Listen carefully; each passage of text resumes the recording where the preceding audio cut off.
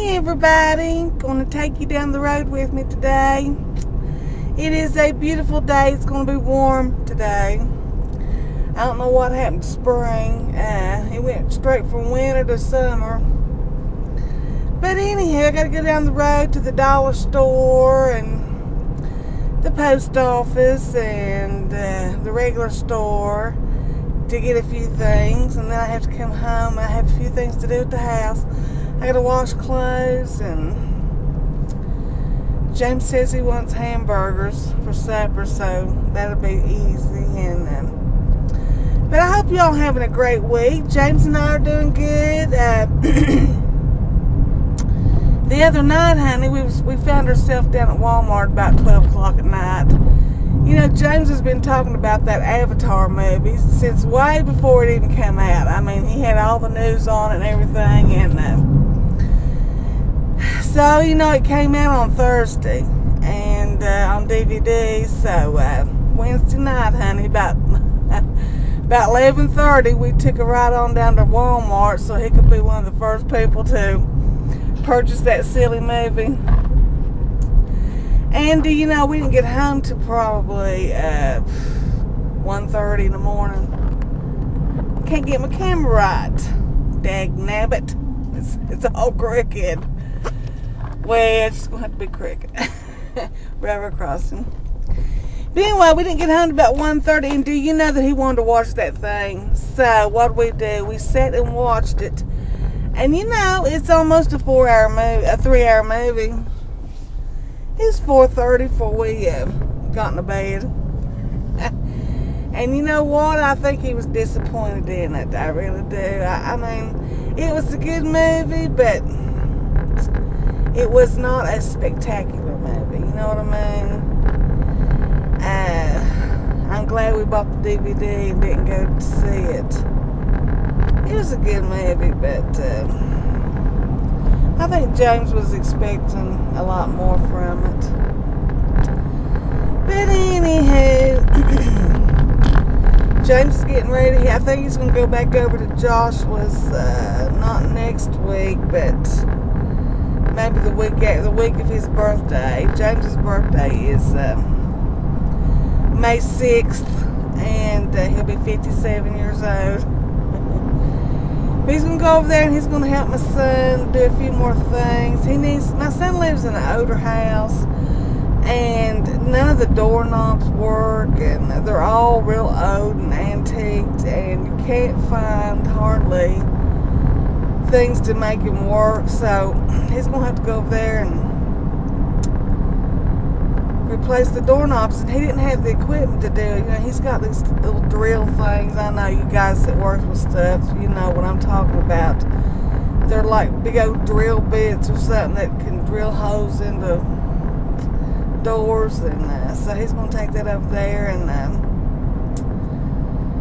I think he really enjoyed himself over there, even though he about killed himself. James is not, uh, since his heart surgery, James has not, know, he used to be so active, he never would sit down and, you know, he just couldn't stay still. But since his heart surgery, he's really slowed down and uh, he's, uh, you know, he's just not used to the physical labor that he used to be able to do. And we've both gained so much weight that um, I was looking at myself today and said, oh my God, what am I going to do about myself? I've gained so much weight and I, I mean, everything I wear looks awful. I look awful. I want to do something about it. I don't know. I just, I, I'm going back from James to me. And James is the same way. We both want to lose weight, but it's like we don't have the willpower to do it. We just can't do it. I don't I don't want this. I told James it's because we're out. but anyway, James is going he really enjoyed himself, but he killed himself over there. Working out in that hot sun. He got so burnt and worried Joshua to death.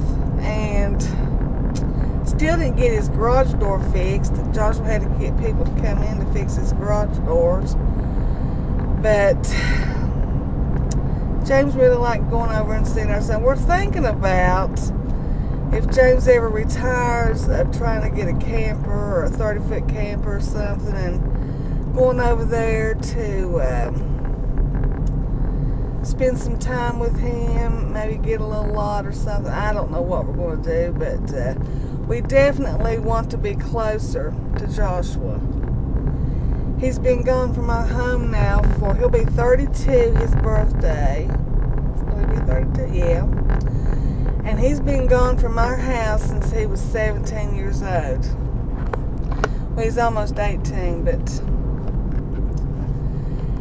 And he's eh, the only time he's ever only been back home for six months at one time. And look at that camera, golly, Neds. Six months at one time, and then he got laid off from a job in Atlanta, Georgia, and he was at our home for four or five months. And besides that, in the last 15 years, Joshua has been away from home. And we barely get to see him very often. And of course, I miss him terribly. And James does too, as James getting older, you know. And so we're going to try to get closer to him somehow. We don't want to sell the house. This is when James retires, if he can retire.